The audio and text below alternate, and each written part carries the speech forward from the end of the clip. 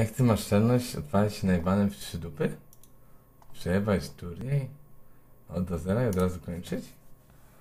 Nie wiem, no taki był plan ogólnie. Tak, tak planowałem w czwartek, tam w środę. Wygrałem z nieuczesaną, mówię, dobra, no to pojadę na jebie się, przegram do zera i skończę stream. No kurwa, taki był plan od początku.